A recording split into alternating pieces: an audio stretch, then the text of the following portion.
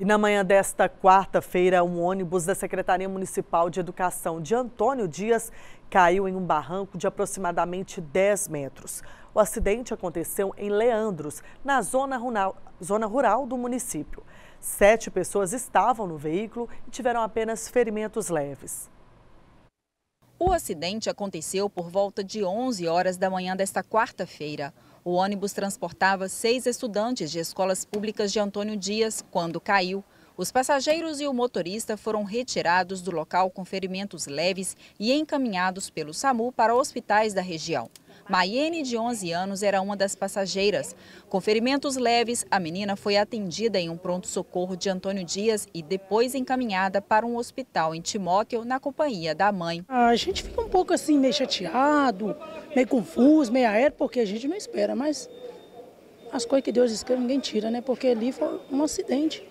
Mas graças a Deus todo mundo beleza, não foi fatal, não morreu ninguém, então isso indica que está tudo bem com eles. Ainda assustada, a garota contou que não se recorda de como tudo aconteceu e que se lembra apenas quando foi retirada do ônibus. Não consigo só lembrar que eu caí dentro do córrego.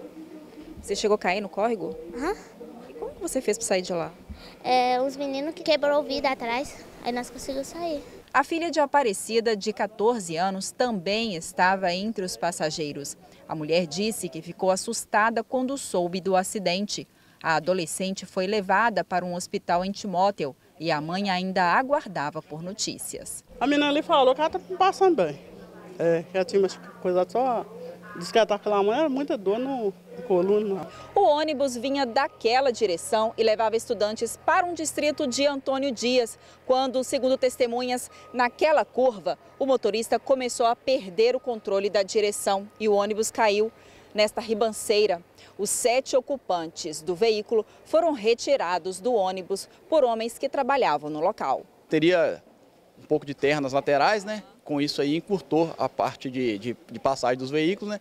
E ao passar pela lateral, é, o, o, ônibus cedeu pelo barranco e vindo a capotar e caindo próximo de um riacho que tinha no local. Segundo as testemunhas dos locais, quando a polícia militar chegou, as vítimas teriam sido socorridas, mas foram encontradas conscientes, todas saíram andando.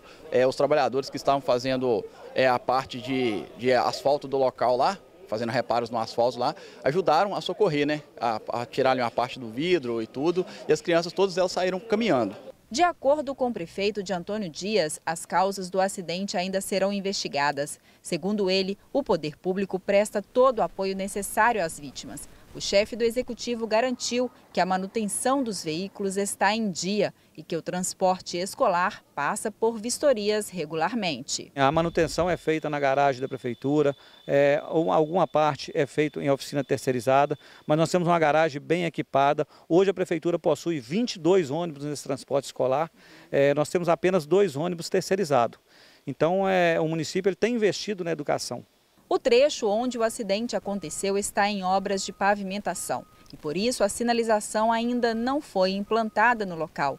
De acordo com o prefeito, a previsão é de que as obras sejam concluídas em seis meses e, por isso, pede atenção aos motoristas que passam pelo local. Nossa parte de sinalização ela será feita ao longo é, de todo o trecho, assim como as obras ainda não, não chegaram ao fim.